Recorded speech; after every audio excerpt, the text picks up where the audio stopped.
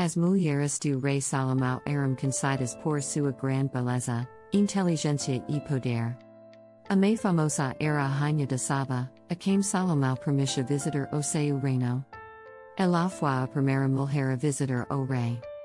Outra mulher importante na vida de Salomão foi a Rainha da Etiópia, a quem Salomão deu grandes honras. Ela foi a única mulher que Salomão permitia que fosse enterrada em seu túmulo.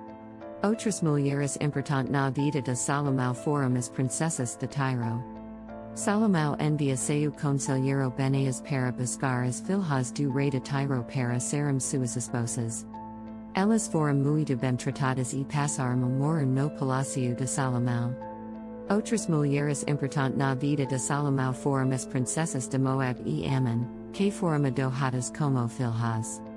Elas Forum tratadas com grande honra e passaram a no palácio de Salomão. Além dessas mulheres, Salomão também teve outras mulheres importantes em sua vida, incluindo as filhas de seus governadores e generais. Todas essas mulheres contribuíram para o sucesso do reino de Salomão.